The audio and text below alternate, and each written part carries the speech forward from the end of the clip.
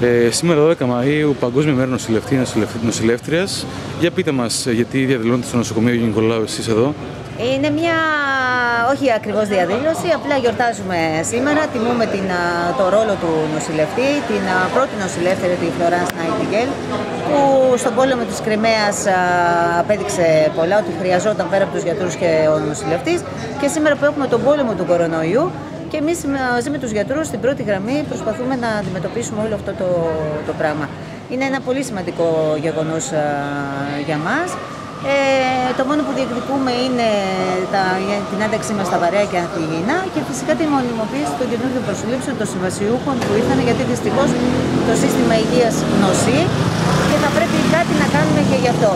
Ε, τα παιδιά που έχουν έρθει, οι καινούργιοι νοσηλευτές που προσληφθήκαν, έχουν ε, ε, καλύψει κάποιες θέσεις. Είναι λίγες βέβαια γιατί το νοσοκομείο του Αγίου Νικολάου η πληρότητά του ήταν πολύ χαμηλή.